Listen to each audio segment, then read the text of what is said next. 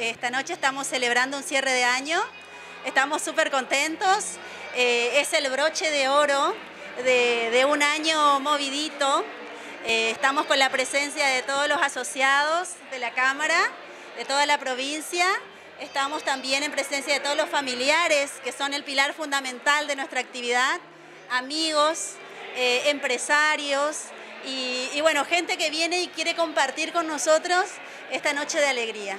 ¿Cómo es el evento? ¿Qué, hay? ¿Hay una fiesta? ¿Cenan? ¿Hay música? ¿Cómo es? Bueno, va a ser variada. va a haber una parte, hay una parte protocolar, por supuesto, hay menciones de reconocimiento a colegas. Eh, también vamos a, entregar el carnet de socio vitalicio a dos socios que ya han cumplido 25 años dentro de la Cámara.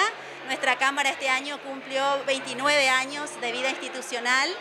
Eh, también va a haber el momento del espectáculo, va a estar Rulo Espínola animando nuestra fiesta, también va a haber un cantante, show en vivo, eh, Esteban, el cordobés, y sorteos, hay muchísimos premios, eh, estadías en Iguazú, hay sillón ejecutivo, hay un costillar, pero hay, hay un montón de premios que queremos que todos vayan con sus premios.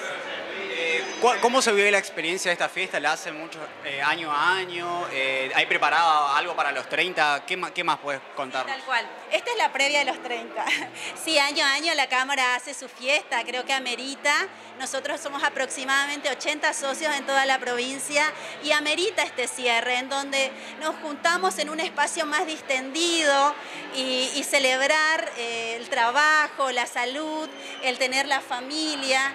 Eh, que no es menor, es un año que fue movido en todos los aspectos, pero pese a eso, en la Cámara siempre seguimos apostando a la mejora continua. Cierre, un broche de oro muy bueno, ya que la Cámara Inmobiliaria eh, este año hizo mucho, cumplió su objetivo y con donde se hizo, ¿no es cierto?, el primer Congreso de Jóvenes Profesionales Inmobiliarios el mes de septiembre eh, y también que fue un éxito a nivel nacional y Latinoamérica, donde vinieron varios colegas de, distintas partes de Latinoamérica.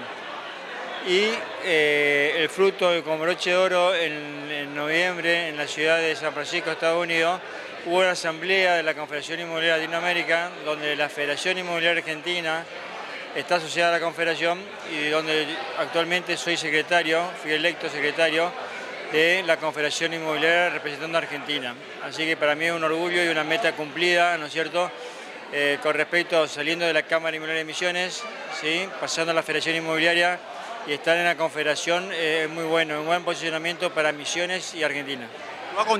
Me ha comentado también acerca del Congreso de los Jóvenes, también por parte del grupo inmobiliario, digamos.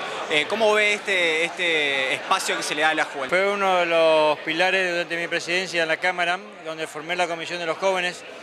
Casualmente es para eh, motivar a los futuros dirigentes, porque no es fácil conseguir dirigentes, ¿no es cierto? Y nosotros, como digo yo, mi eslogan, no somos horneros que trabajamos con el pico, sino que trabajamos en los hechos realmente, donde le damos lugar realmente a los jóvenes, donde le posicionamos